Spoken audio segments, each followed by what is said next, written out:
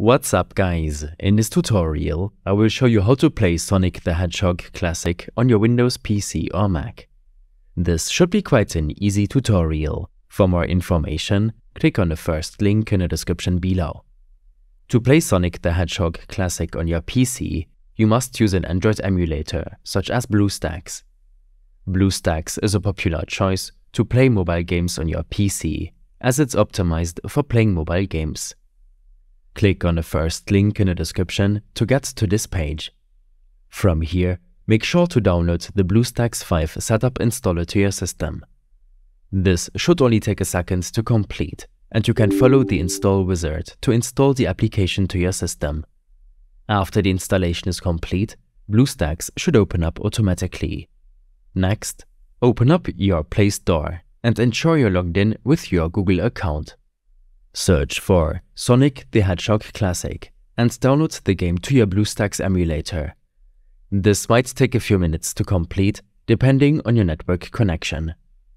While downloading the game, you should take a look at your emulator settings. Click on this gear icon to access these settings.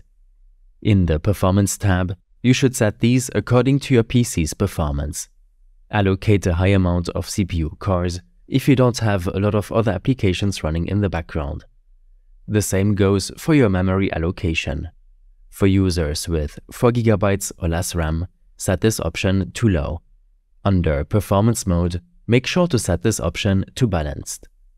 This will reduce the memory and CPU usage if your PC lags or you otherwise encounter low performance.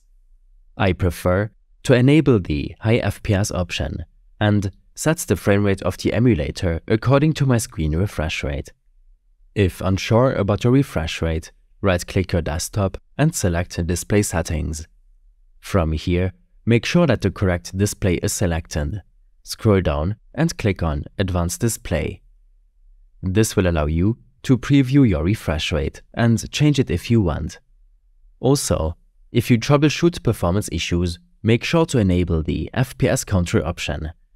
In your display settings, set the display orientation to landscape and choose a fitting resolution to play Sonic the Hedgehog Classic on your monitor. You can also adjust the size of this window by dragging its corners. You can leave the other settings to the default option and play Sonic the Hedgehog Classic to see how well it runs on your PC. To change your key mapping, navigate to your controls editor. You can then drag and change the location of individual controls, change the key and apply other settings to help improve your gaming experience. Your in-game settings allow you to adjust the music and sound effects volume. I'd also suggest lowering the D-pad opacity when playing Sonic the Hedgehog on your PC or Mac. All of these steps and more information will be available in my extensive guide linked in the description below. I hope this helped you out. Leave a comment if you have any questions and see you in the next one.